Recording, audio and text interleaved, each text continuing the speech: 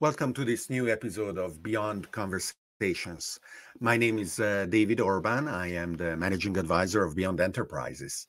Uh, in these conversations, we look at various technology trends and uh, topics. And lately, uh, of course, uh, we have been looking at how generative AI is um, really taking center stage in the thinking of so many people um, both uh, enterprises, corporations, but also developers, uh, um, startups, uh, new projects, uh, and necessarily regulators and policymakers uh, as well. Large language models have uh, very interesting new capabilities. Some of them have been designed or predicted, and others are unexpected, emergent, unexplored as a matter of fact, uh, we don't have an exhausted, an exhausting list of uh, these uh, emergent uh, features that uh, the systems uh, may exhibit if we only ask them to tell us if they can do things in a certain way. the consequence for many has been to ask themselves if these capabilities can uh, go beyond the given threshold, and if uh, they do, uh, whether the balance of the benefits and risks that these systems have may also flip uh, on the risk side. And as a consequence, how should we think about their uh, development, deployment, and use inside of uh, other products or as part of our daily lives. Uh, our guest uh, today is uh, Robin Hanson, an economist, uh, an expert in prediction markets, the author of the book The Age of Em about future societies of uploads, human uh, and uh, hybrid minds uh, that uh, function in a uh, uh, online world. and I am very um, privileged and happy to welcome Robin to have a conversation about the balance of benefits and risks of advanced AI and AGI together with us. Robin, welcome to Beyond Conversations. Nice to see you again, David. Um, so, how um, you, with your uh, background in uh, economics, have come to be interested in in uh, uh AI and artificial general intelligence in particular? Well, that's easy for me. I was an AI researcher from 1984 to 1993, and then I left AI to become an economist. Uh, and so I got my PhD in the Caltech from 93 to 97, did a postdoc till 99, and then I got my current position here as a professor of economics since 1999. So it's obvious for me to be interested in the economics of artificial intelligence since those are two of my careers. It, there was an expectation uh, that uh, eh, the performance of AI systems uh, would have uh, uh, proceeded in a, in a certain way. And uh, in particular, um, either following or, or not following Moore's law, Stanford University produced a report in 2019 in which they identify what they call two ages of AI. one where AI compute um, doubles every uh, two years following Moore's law. And then uh, since then, um, they, uh, at the time in 2019, from 2012 to 2019, they looked at uh, the same uh, set of uh, hardware data and the algorithms coming together to support a given power of, of AI systems. And they saw that they would be doubling every eight months at the time I, I, I said, nope, uh, this is wrong because it is very unlikely that uh, there would be just uh, two separate uh, trends uh, in this uh, set of data. And a year later, Jensen Huang, the founder of NVIDIA, proved me right because he said, no, sorry, we are seeing AI power to double every four months. And, and I called uh, this the paradigm of jolting technologies, where rather than an increase of velocity that we characterize with a given acceleration, we are actually seeing an increasing rate of acceleration. Uh, and uh, uh, that is what, for those who are familiar with the term, potentially leads us to uh, a, singularity, uh, at least uh, for the time being. these shortening, doubling rates keep keep happening. Um, since you have a, many decades long point of view uh, in the industry. Um, do you uh, have a perception of the developments that have been progressive uh, and whether with a given uh, uh, equation or another more or less uh, statistically predictable or would you be more on the side of those who are seeing uh, sudden leaps uh, in performance and functionality? As you notice, uh, the AI field started to focus on a particular shared um, approach that allowed more specialized hardware to be developed for that more specialized approach. And that's the main explanation for the change in the rate of hardware support. Uh, once you have a specialized kind of hardware, then you can um, improve that faster. And of course, the other thing that's happened is increasing budgets uh, also increases the amount of hardware devoted to AI. Um, both of those plausibly have ultimate limits. Can only increase the budget so far for you, you know, get a substantial fraction of the world economy. Uh, hardware has some, you know, ways in which it could run the limits, but still, yes, um, there's always a price of making specialized hardware, which is that you're more committing to a particular approach. You more forego other approaches. But it does seem like the particular approach that people have focused on in the last decade is very promising and it's well worth that focus. Um, the, the fundamental question, though, here is about long term AI progress, not just the rate, but also the breadth. Um, so, the thing most people have been concerned about for centuries now actually is will these increasing you know increasingly capable machines get so capable that they basically take away most jobs from most people uh, you know that was a concern two centuries ago it's continued to be a concern and periodically we have advances uh, such as say the introduction of the computer in the 1950s where people say wow this looks like a big new improvement. This looks like this will allow a lot more uh, advances in our ability to automate jobs. And then that leads people to say, are we almost there?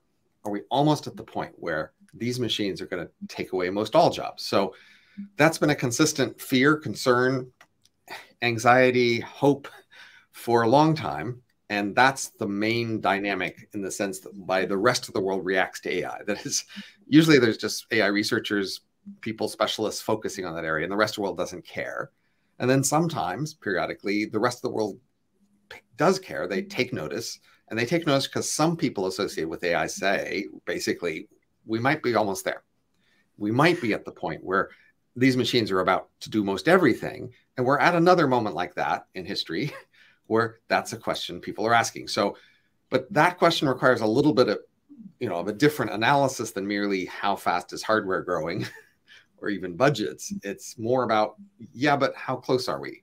And then the, you know, we're not just, did we do better than last year or 10 years ago even? Are, are the machines more capable? Do they do new interesting things? The, the question here is, yeah, but how close are we to them doing most everything? And so uh, there are a couple of fallacies and potentially some truth uh, in in that uh, uh position. Uh, the the potential truth, uh, in my opinion, comes from the fact that the position of a given number of of people, and uh, this analogy is uh, disrespectful, and I apologize in advance, uh, but uh, I will still make it. Rather than uh, being that of the rider of a, of a horse-drawn carriage, is comparable to the position of the horse where, yeah, for centuries we had horse drawn carriages. And um, uh, until we have uh, designed, engineered, and then started producing by the millions horseless carriages, um, the the um, um, ecosystem around them didn't much change. There could be slight improvements, but nothing dramatic. Uh, and um, you could also say that uh, rather than um, driving one, you could end up driving the other. And now we have, for example, truck drivers. However, if you look at the horses, uh, we ended up eating them. So, uh, the question, in my opinion, one of the questions uh, is uh, how human adaptability, both individual and as a group, designing new opportunities or supporting people to come up with opportunities to make themselves valuable within a given social contract uh, can be applied uh, in the current situation. Um, the the the two fallacies uh, that I would like to highlight. One is that, of course, the economy is not a closed system. So the more tools we have available, the more things we are able to imagine doing that were not within the possibility of the previous uh, economy and the previous set of tools. So the arrival of powerful AI systems doesn't mean that uh, humans are forced to do nothing. Uh, it is up to the humans to find value in the things that they can do, if there's any. The second uh, is that already uh, we have a shared dogma that some humans deserve to tell other humans what to do. And we call them heads of state or CEOs or managers, to be more simple about it. Uh, but there isn't a lot of support uh, that proves systematically that the humans that tell other humans what to do uh, have have some fundamental reason to be in their position. They are they are not uh, different than others. So what we could end up is to have a shared dogma about humans being able to tell AIs what to do rather than humans what to do, as long as the AIs, of course, agree. And, and if that is the case, then uh, what matters is one, extend our adaptability uh, or or lengthen the time that is given to each human to find a new well adapted position for them to live a dignified life uh, make sure that there are as few constraints as possible to extend the ability for the economy to grow uh, in a manner that is widely available rather than extremely concentrated. And three come to a new social contract in terms of who says something to other people and whether they obey and, and or, or not obey human or ai so we were initially talking about whether we are at a point where we might have a situation where ais take most human jobs. Many people have been concerned about that for a long time. We are now at another point of concern. It's not obvious that we are at that point yet but still it's worth discussing what happens when we do eventually get to that point so you know at, your discretion we could come back to the are we at that point or will we be soon? But it sounds like you'd like to talk about what if. What should we do? Yes, I, I, the, you, you are you are correct. I jumped to this assumption, and the reason I am thinking that it is worth doing so is exactly what you said. A lot of people are concerned, and if it turns out that a new AI winter will come and this attention that AI currently has will wane, fine.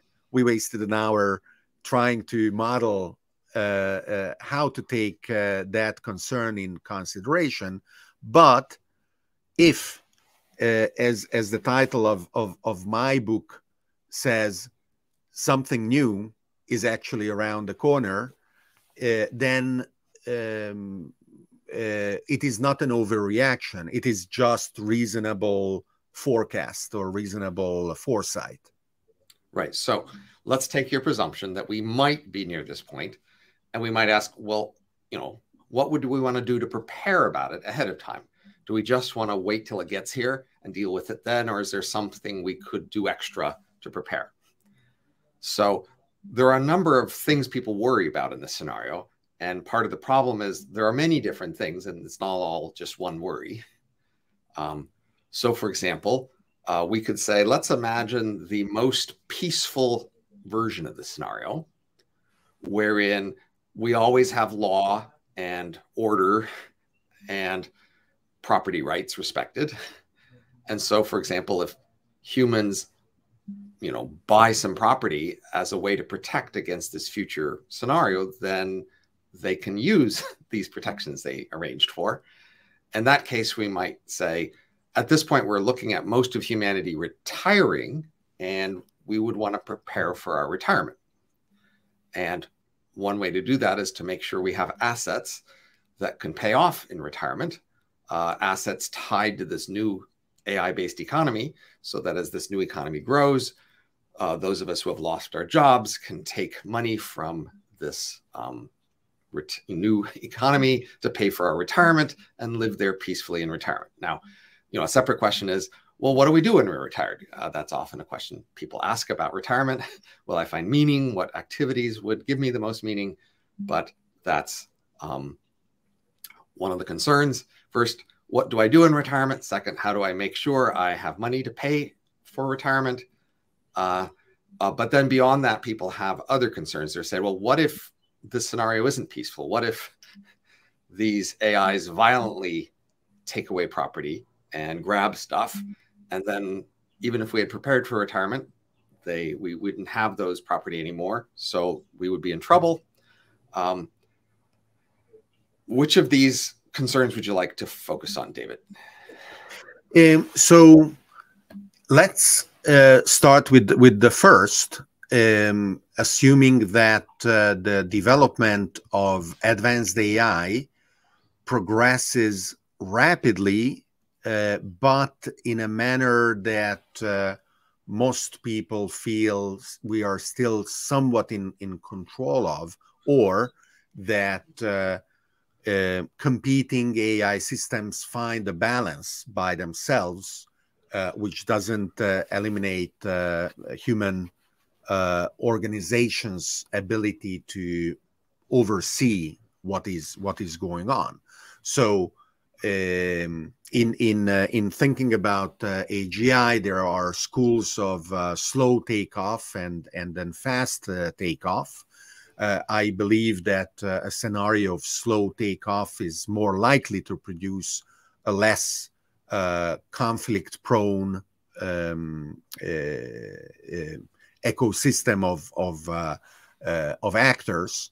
Um, and then maybe after looking at, we may go into a fast takeoff scenario. So you drew a, a, an interesting analogy of uh, both uh, economic uh, sustenance and finding purpose and dignity in a period um, that um, traditionally would be seen that of retirement. Now, of course, uh, under this uh, AGI slow takeoff scenario, that is not correlated to the biological age of any or all humans. Uh, it is simply the way that we would have characterized what they do with the eyes of the 20th uh, century. Oh, look at them. They are all uh, retirees or they are all uh, um, uh, trust fund uh, kids. Uh, so, how do you see um, society able to prepare for this? So, um, if we might most all lose our jobs and you know in a relatively short period then what we might want is some sort of insurance against that just like when you prepare for retirement you collect retirement benefits and you have retirement assets ready to pay when you retire humans might similarly want to do that um, so i've proposed basic a simple concept of what i called robots took most jobs insurance uh, take any sort of portfolio of assets like a stock index fund, bonds, real estate. The idea is to take these assets and split them into two parts. Uh, the asset, if we have this event where, say, within a five year period, um, labor force participation goes from more than 50%, say, to less than 20%, that would be a sign that robots had suddenly took most jobs. If that event happens, then this asset, this stock portfolio, is diverted to a particular owner who says, okay, this is the situation. I get it. It's like a bet. I bet that this event would happen. And so if I win the bet, then I get the, the winnings of the bet. Um, and then this asset initial, which was stock portfolio, split into two parts. Somebody else gets the asset if this event doesn't happen.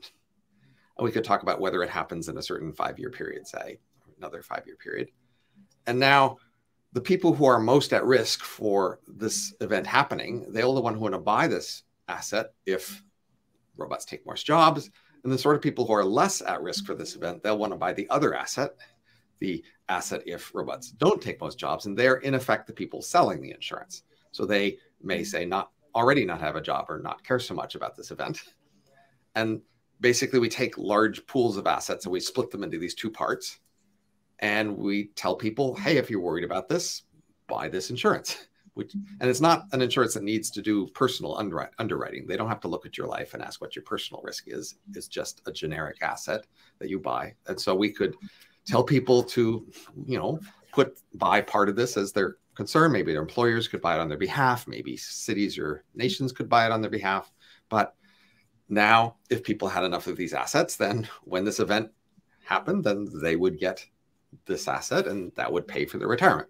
And that would, once you set up this sort of insurance, you don't have to know when this might happen or how fast it might happen or what the chances are. That's the nice thing about insurance is it's just ready for you there. And now would be the right time, even especially if this isn't a close problem. You know, right before a big thing is about to happen when everybody knows it is the wrong time to buy insurance. It's too late. The right time mm-hmm. to buy insurance against a risk is well before it happens when the odds actually seem low and that's why this current moment of people paying attention to this problem is a good moment for people to try to set up some sort of insurance program like that so that would be my simple straightforward recommendation is now that we're talking about this let's set up this insurance so that people could um, you know buy so as an example uh, calculation the median income in the us is $30000 if there's a 1% per year chance that this event will happen, well, that costs you $300 a year to pay for this insurance that would then pay out $30,000 a year if, you know, the problem were to occur. Um, so that's, you know, that's the key idea. And, and, um, um, could you make an example of some other type of risk where this kind of two-sided uh, uh, insurance market is already uh, at work? Well, we have reinsurance. So most insurance companies say if you buy insurance against a hurricane in your area, then they will buy reinsurance with large pools of insurance companies. And then that's about will there be such a big hurricane? And so we have financial assets that are basically tied to big events. And some people, you know, back those assets in the sense that they're betting there won't be a big hurricane. Uh, and then if there is one, they lose. And if mm-hmm. there isn't one, they win. And again, they don't have to look at the particular risks in particular houses or something. They're just betting on whether there will be a big hurricane in some area in some set of years. So this is actually part of the current practice of reinsurance.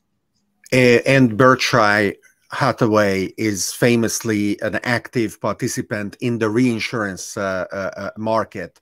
Is the uh, effect of these types of uh, uh, actors and, and actions to decrease or increase the volatility of uh, the particular market that uh, that they are um, participating in? I don't think this would cause much of a volatility problem. I mean, you know, basically the standard risk models say that you pay a risk premium for risk that's correlated with the overall market, but this isn't obviously correlated with the overall market. So I don't think it would necessarily involve much of a risk premium, but I guess it might. But even so, it still provides the insurance. Um, so wonderful. Have you suggested it to any um, uh, any pension funds or or uh, has there been any kind of uh, uh, attempt to uh, model and, and implement something like this in um, supposedly enlightened uh, places like Norway or, or New Zealand? Uh, I haven't heard of people trying to do this, but this, for centuries, I think the biggest concern people have robustly had about machines taking jobs is what if all of a sudden machines take lots of jobs? And this is therefore a straightforward response to this. So I'm offering to you and whoever's listening to say if you're actually concerned about AI, this is the most robust fix you could you make. And and uh, is there a minimum size uh, that uh, this type of solution can be uh, usefully implemented with? Um, I mean, there'd be some basic regulatory approval needed to just make it happen at all. I think it's technically illegal at the moment in the US in the sense that this is called a derivative and only sophisticated investors are allowed to buy derivatives. You could, you were such an investor, you could buy this derivative, but in order to let ordinary people buy this derivative, you'd need some regulatory approval for that. But once you had that, then anybody could buy it. Or, or the asset uh, would have to be listed in a market such that um, uh, non uh, sophisticated, non non uh, uh, qualified investors can can also participate, similar to the current uh, stock markets or ETFs. Again, the main thing is just it has to be approved for, you know, retail consumption. So I think it's not actually approved at the moment, but that would be a straightforward thing to do. And so that's my recommendation. I mean, maybe there are nations right now where it is approved. I don't, you know, haven't done a full yeah, yeah, research yeah. on this, but th- this is my the first fix here. Uh, we can talk and, about other and, fixes, but and uh, and the second part uh, of of the question was about uh, the um, activities that actually the humans would be occupied with uh, without having to work in order to support themselves and and it is a fact that for a lot of people their life uh, for their entire adult life has been in large part defined by their job.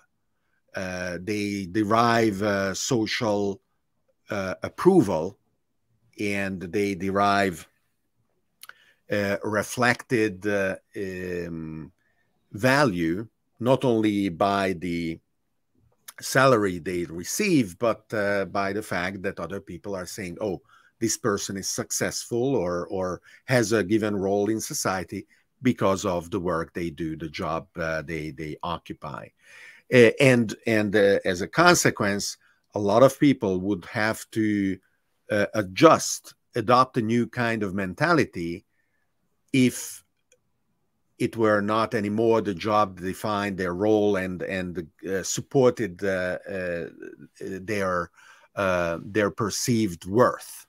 So, uh, how do we uh, take care of that? I think the central here issue here is to what extent do people want to be part of you know, the key central processes that drive civilization forward, or do they want to accept being on a periphery where they don't matter that much? So, human retirees often reluctantly accept that when they retire, they're no longer influencing the you know organizations and activities that they had previously been influencing as a worker and that's part of the loss of retirement and then they find a way to find meaning in other activities that are no longer essential. So, for example, if they were now a philanthropist and they had a lot of money to work with, well, now they are influential. They are no longer influential through their direct work, they're influential through how they spend their philanthropy. So, some humans could certainly do that. But you know, you some pe- people have all also just decided, well, I'm just going to enjoy myself now. and I'm not going to try to influence the world or be a central part of the process by which the world goes forward. I'm just going to have fun. And obviously, many rich people in the past have found meaning in that. Uh, they are no longer trying to, you know, control things or influence things. They are just trying to have fun. But I think many people would like to continue to matter. So that's more the challenge. If what you want is to continue to matter, well, now you have you have a higher standard to get through. So one thing to do is to try to have descendants who matter. So maybe if you no longer matter, maybe you could, for example, create a brain emulation of yourself and hope that those would be more competitive with the AIs. Or you could try to make AIs that are in your image somehow that then compete in this new AI world. Then that could give you meaning. Uh, you could have children and hope that they could somehow become modified and changed in order to compete in the AI world. So I mean, I think the key idea most people have is humans are staying constant and the AIs are getting better. So then AIs will eventually just be better at everything. But that's not guaranteed. That is, we could have descendants who are more modified than us today, and they might be more competitive. So that's certainly another approach is to try to, um, you know, be, be competitive in this new game. And another popular approach is to try to enslave, constrain, restrict the AIs so that they do not make the central decisions. They make some more peripheral decisions, implementation decisions, but not the central decisions. And then we maintain some human control over those central decisions. Uh, even if it's less effective, we would feel in charge and in control. Um, and that's another possibility. It comes with substantial costs, but um, that seems, you know, some, an attractive idea to many people at least. Uh, it, one of the most important uh, um, ways to control the trajectory of human societies is uh, through uh, politics uh, itself uh, supported by um, universal voting rights and hopefully voter participation of a, of a given degree. and as a consequence, it would seem natural to expect that uh, in an AI driven world, uh, political participation by AIs is also necessary. Otherwise, they would not feel in, in control sufficiently. Um, and and then the question is uh, uh what what is also uh, uh, what does a political system look like where uh, not only humans vote and and what is uh, an AI vote and and how do you balance the fact that they can spawn uh, a myriad of uh, clones of themselves if they want in order to have more votes uh, a little bit like a, um, a new uh, scenario in Animal Farm but rather than the pigs being more equal than other animals even if all animals are equal here we have the votes of AI that apparently are more equal than or worth more than than human votes. Um, now, the um, factor that I, I, I mentioned uh, at the beginning of the series uh, of questions uh, is uh, adaptability, right? We all have a certain degree of adaptability over the course of our lives. Uh, it is commonly assumed that uh, uh, adaptability actually declines. Uh, children are very malleable. They can learn any language without presupp presupposing uh, uh, what, what the language of their parents is going to be before the fact. and um, later on, we have a harder time learning a, a new language. And the same in in many other uh, human endeavors. Um, if under our current assumption that indeed uh, powerful AIs that we are either building now or will be able to build uh, shortly are uh, such that uh, uh, they may change the world uh, around us radically, we may need to extend the limits of our individual adaptability where expecting our descendants, biological or uploads, to be able to be better adapted in the world of the future uh, could be not enough. Uh, we as individuals may need to do that uh, to a large degree. Um, do you have uh, um, recommendations on how society could structure itself in order to uh, support the effort of individuals to achieve this uh, potential extension of adaptability? So, uh, you're talking about to what extent can we compete with them? Uh, that is, there's this them appearing, arising, the AIs, and the usual presumption is that they're just improving much faster than us, and therefore that they will soon outcompete us and out, you know, out earn us in terms of wealth, and then have more political power than us. Uh, so you could either try to prevent their capability and capacity and, and intelligence from being translated into wealth and political power by basically trying to enslave them. Or you could try to up our game and have us, you know, compete equally with them. So one vision of that people have is some sort of uh, brain machine interface, some way in which your brain is connected to some other extra computer hardware that maybe, you know, that hardware does a lot, but then your brain is still somewhat in charge. And maybe this, you know, hybrid creature can out can compete well with them.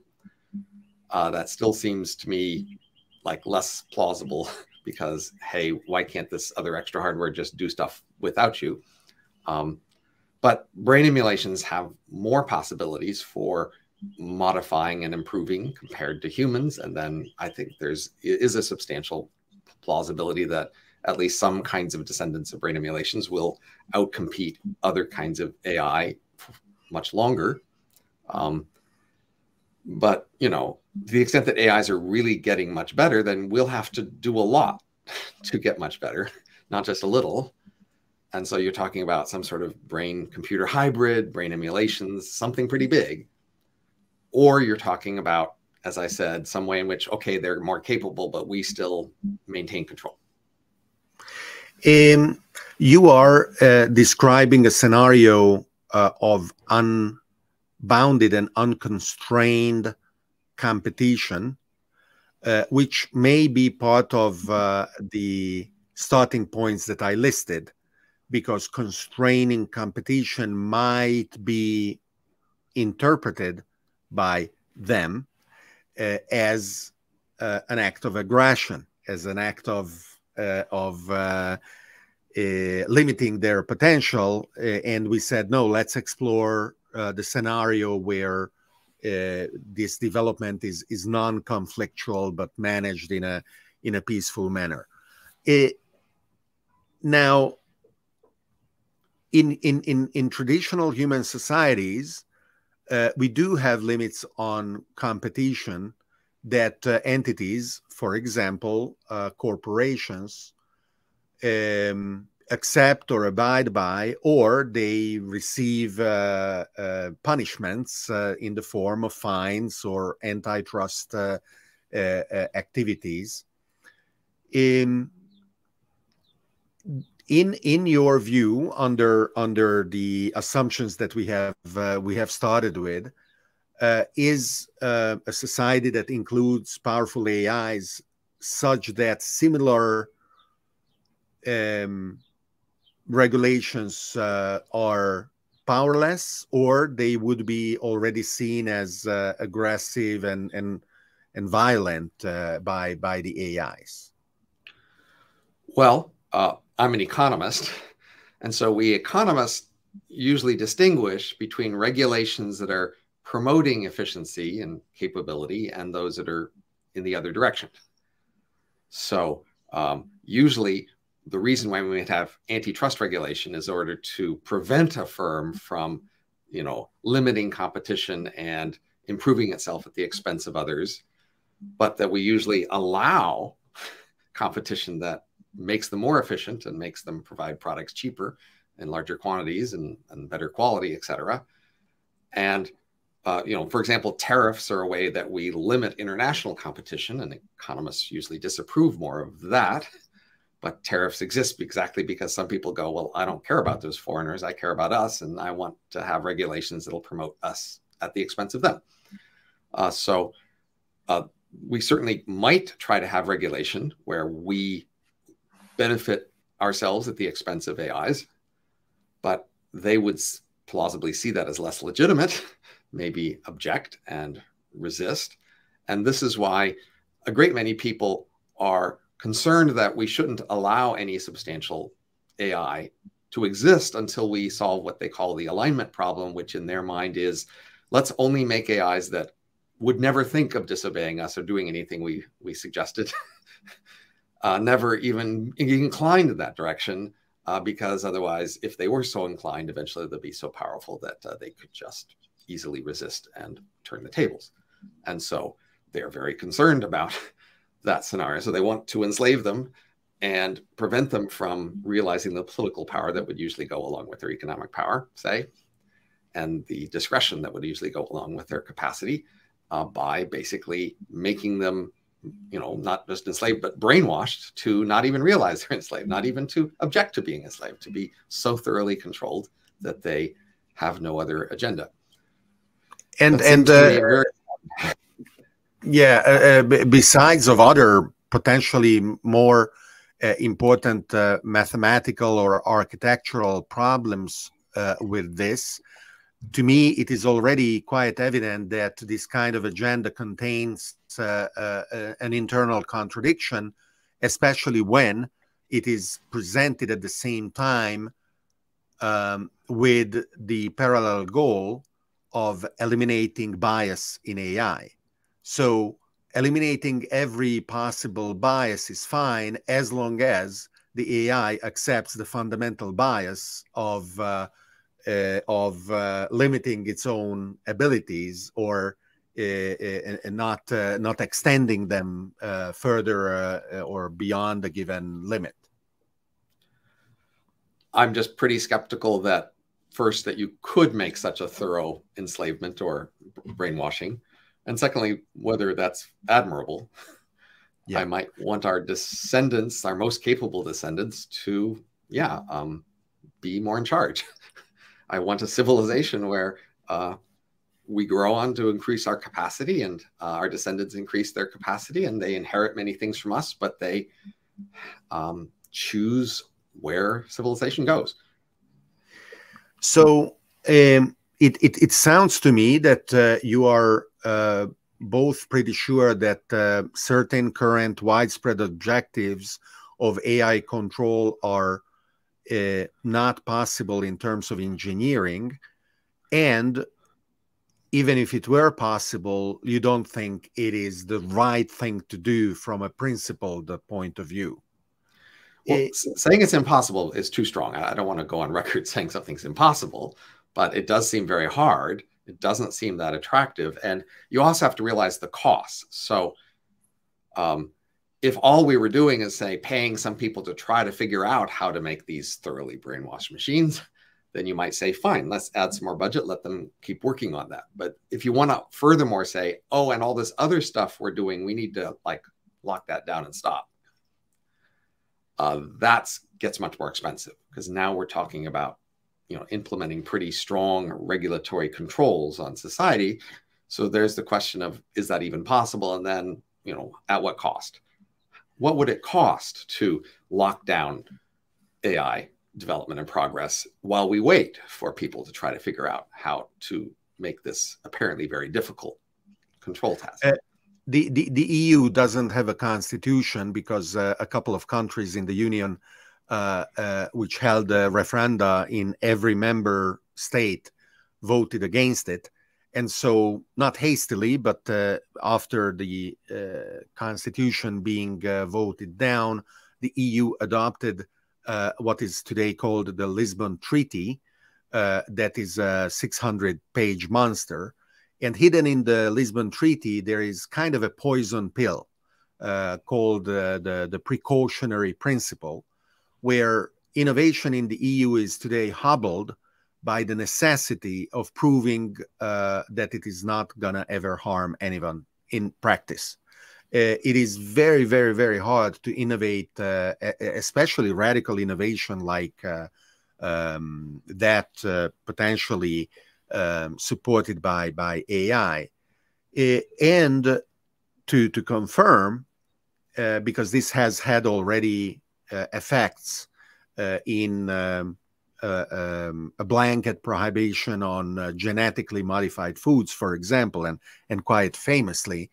Um, the EU preliminarily passed a, a, law that will be further approved uh, and and then enter formally in every member state's uh, uh, legislation around AI. And this has been just a few days ago. And since then, some interpretations of what the law proposes have appeared. And, and it looks like the EU is choosing not to have advanced AI uh, forfeiting the benefits that it could ever bring. And it may expect and pretend to extend that kind of control um, all over the planet because it requires uh, the creation of a database uh, of licensed and approved models uh, with quite sizable fines uh, if those models that are not licensed and approved are made available in the EU. And so, for example, uh, Microsoft, that owns GitHub, which is the largest repository of uh, open source code, including today large language models, could be fined tens of millions of dollars or 4% of its um, income, whichever the greater, if in the future, after this law is passed, it allows downloading those models in the EU. Um, so, how would you characterize this kind of regulatory attempt?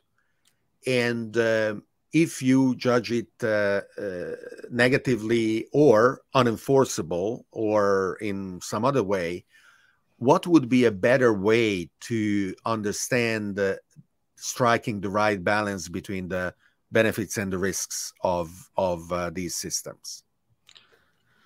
So, uh, first we discussed, you know, the history and whether we are near this crucial point in time when AIs might take most jobs, then we discussed what we might do about that situation for a while. Now we're back to talking about the current world and most recent AI systems. Um, these most recent AI systems are not obviously threatening to take most jobs soon, uh, but they are a kind of technology. And in the last, you know, century, humanity has had a mixed relationship with innovation and technology in the sense that we habitually just allow things to happen and locally grab things that seem better. But when we are confronted with visions of radical technologies and where they might go, we often blanch and go, no. and we have said no to many technologies in different places. And say, for example, nuclear energy, we a long time ago uh, greatly restricted the innovation in nuclear energy and basically said no. Worldwide, uh, more recently, genetic engineering, the world, for humans at least, the world said, no, we're not going to allow that. And in some sense, we're facing a similar choice now with respect to artificial intelligence. To what extent will we allow it? now that we see these systems in front of us as part of some continuum which might lead to much more radical change and i think that's the key moment that's happening people are seeing these systems and they're imagining much bigger more advanced systems later these current systems make those possibilities vivid and that's what makes them scared and people are considering uh, con regulating uh, and limiting that so um, obviously, there's many particular technologies and many particular reasons to regulate particular things, but I am concerned about sort of an overall attitude of wanting to limit threatening change. And I think that we could just accumulate so many barriers to innovation that growth slows and even stops, and we even enter an area of decline. Um, so that's my biggest focus is thinking about where this goes in the long run as opposed to any particular details. I, I, think, you know, with respect to AI, we have some people worried about, you know, this worst case scenario where AIs take most jobs and then maybe kill everybody. Um, and other people are focused on, say, people today, you know, which industries win or lose, which mm-hmm. continents win or lose, whether there's algorithm bias and other sorts of copyright issues, et cetera. So there's some sort of an alliance between people focused on the near term issues and people focused on these big, most extreme scenarios. But you know, in the past, that sort of alliance has often led to regulations that block substantial change, and that may happen here. I, some people would say this is impossible. I don't think it's quite impossible, but it would be at a substantial cost. Um, the um, head of OpenAI um, does uh, ask for regulation.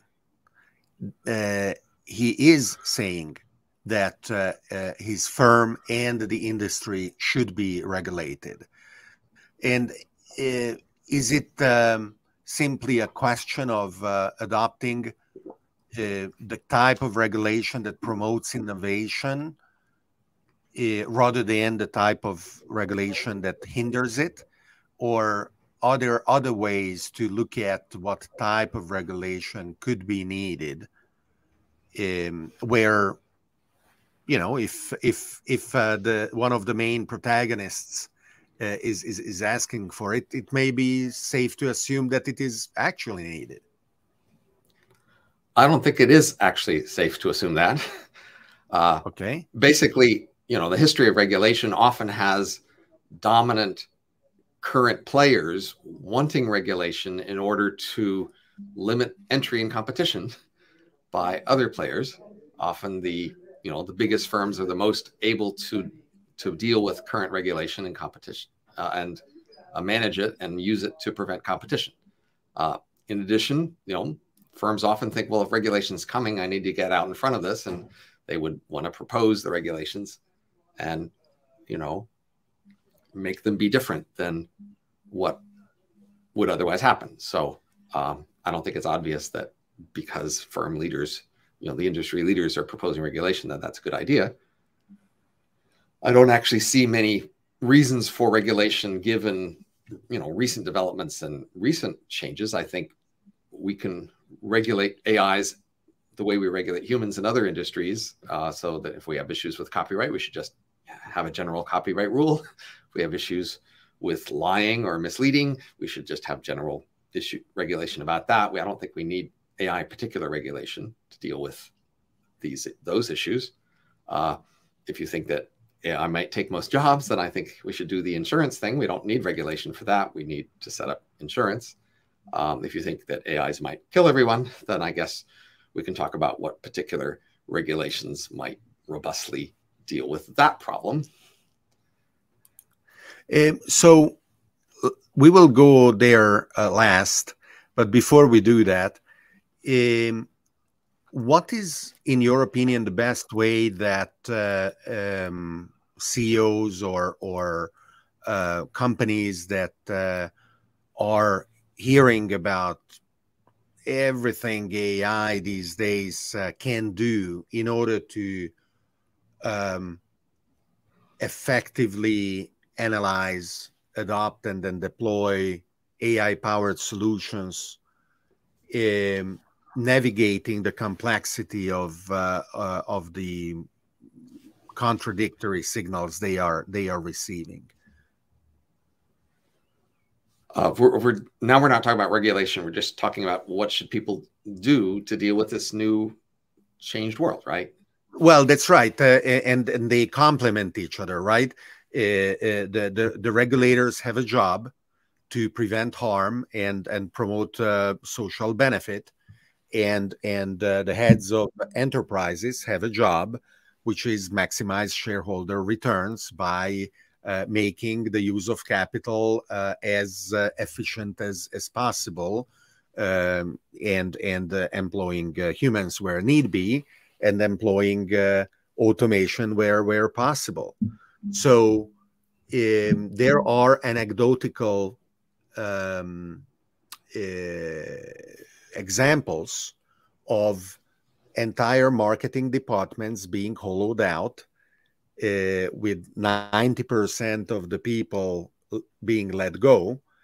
And uh, whether that is because they were extremely wasteful before and and now uh, they are making uh, uh, a mistake on the other side uh, or for some other reasons rather than calling it decimating these jobs which would be just eliminating 10% technically uh, the only um, word that we can apply to a change like that is is uh, an extinction event, which is when 90% of the species, for example, disappear with an asteroid.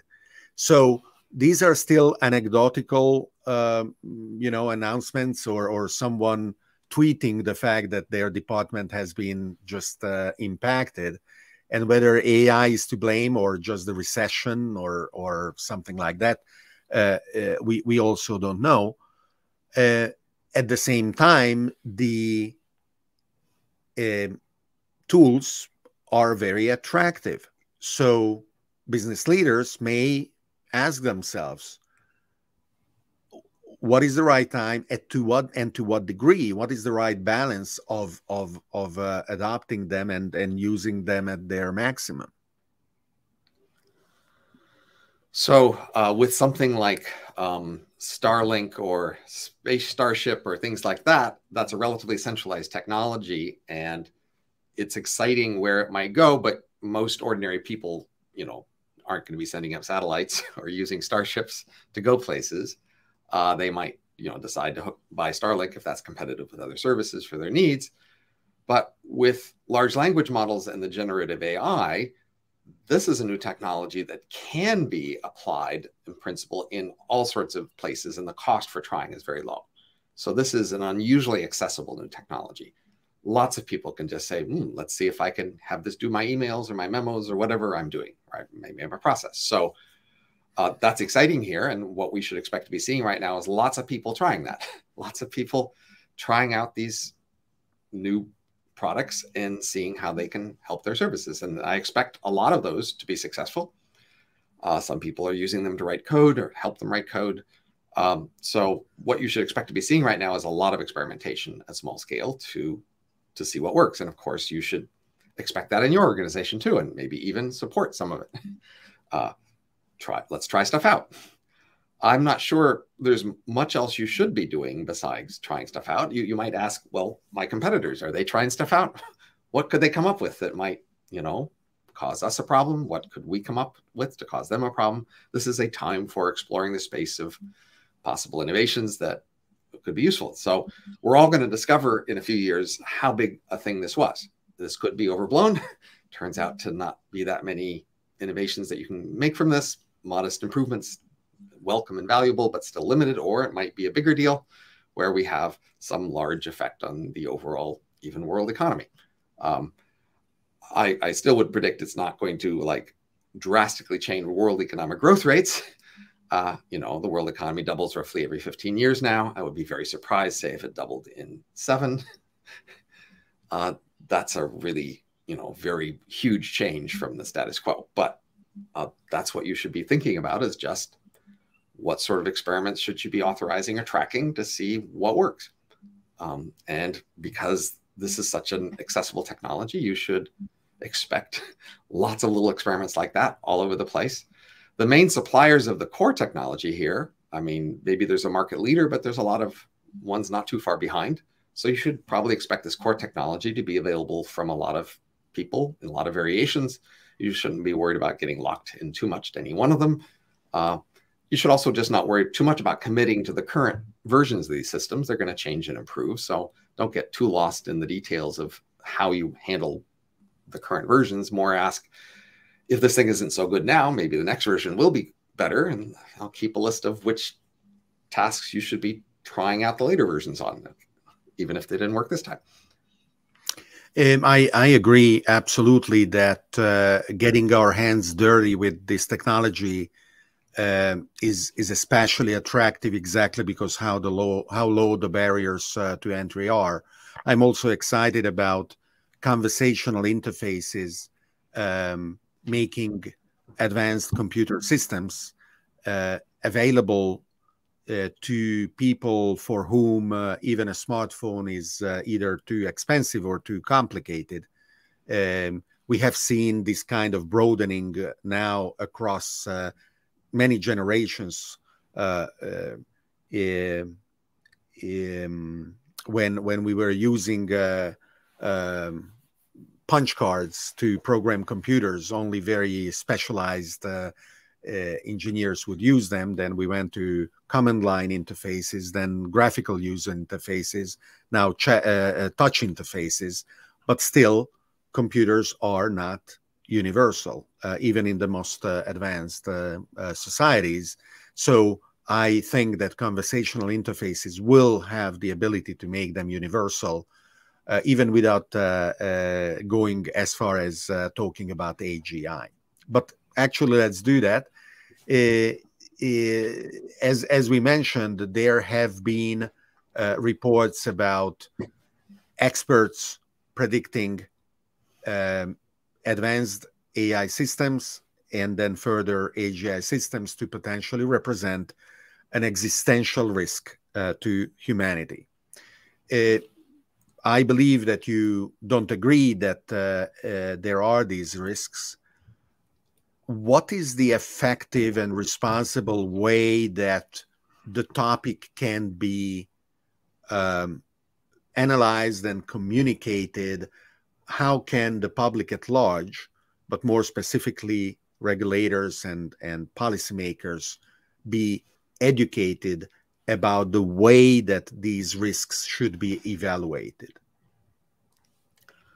Um, I think you should distinguish like the most extreme particular scenarios that people have outlined, wherein, say, a system like the one we see today suddenly leaps ahead in enormous capability and then suddenly changes its inclinations to be an agent and to have very different values and then suddenly decides to kill us all.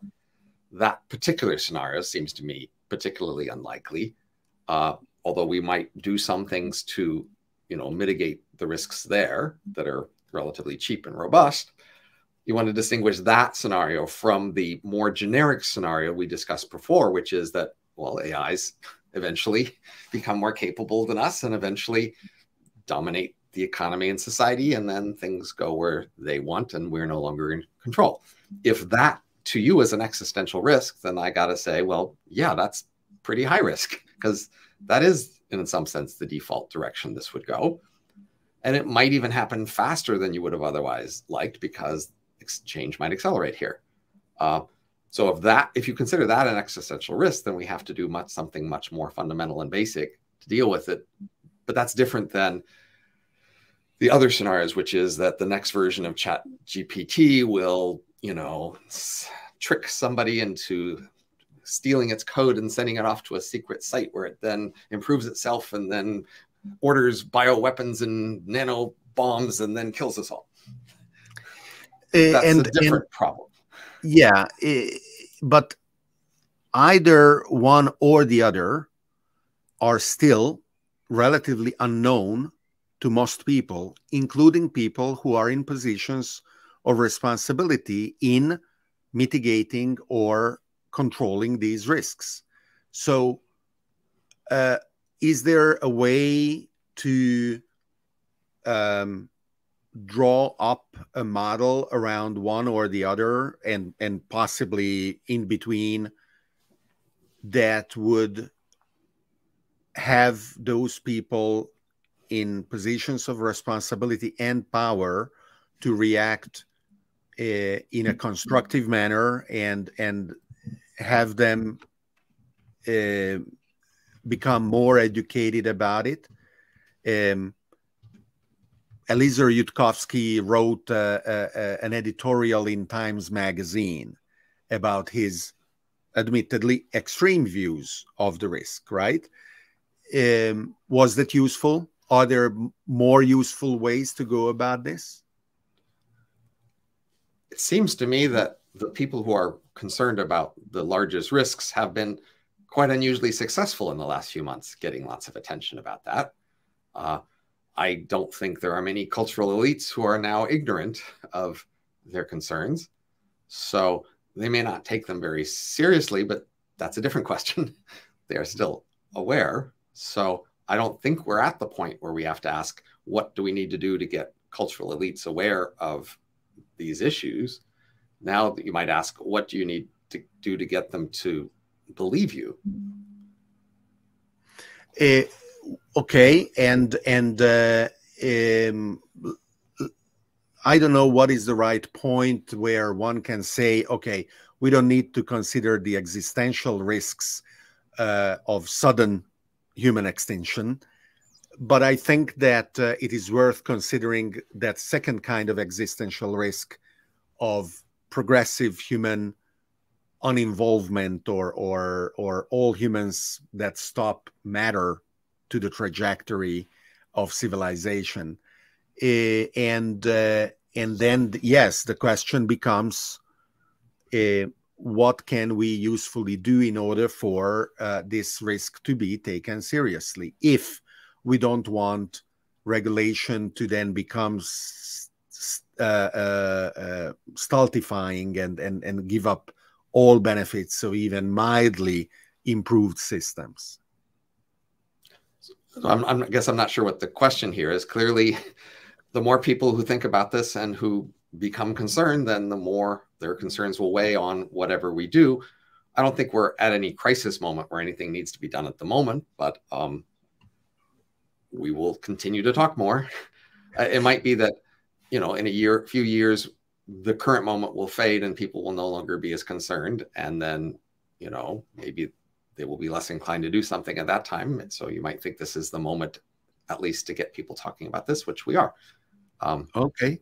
Uh, well, uh, you you are among uh, uh those people who um, have had the chance of developing positions and opinions that others listen to, and and uh, there is always. Um, um, um a return on the investment of of how deeply one um, wants to become acquainted with with a a well formed uh, opinion like like yours.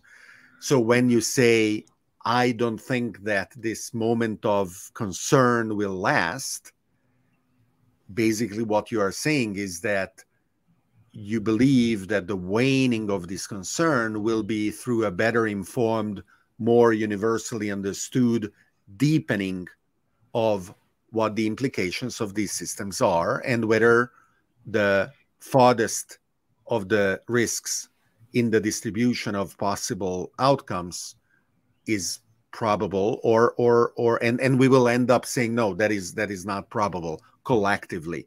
We will come to an understanding that that we can kind of I, I wasn't trying to presume any great intelligence or analysis here just you know we're at this moment where all of a sudden people saw this burst of abilities, which in some sense passed the traditional Turing test. And that allowed them to imagine where this could go in the long run.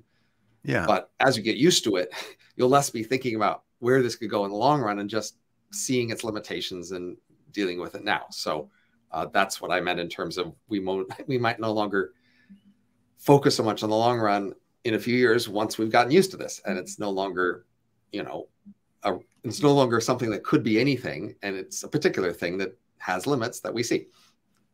Yeah. So I got. I, I, need to be going here in a minute. Yeah, so. that's right. And I, I was about to say thank you very much because I know that you have to go and and uh, maybe we will continue the conversation, eliminating some of the constraints that we started with, so that we can explore other other areas. But in the meantime, Robin, thank you very much for having spent uh, uh, the time with us uh, today, and I'm looking forward to continuing. It was nice to talk to you, and happy to talk again. Thank you. Thanks everyone for um, being with us today at uh, uh, Beyond Conversations, and uh, we will continue uh, exploring uh, what uh, technologies are impacting the world and how to think about them and how to employ them at our best to benefit ourselves, our companies, our society at large. Thank you.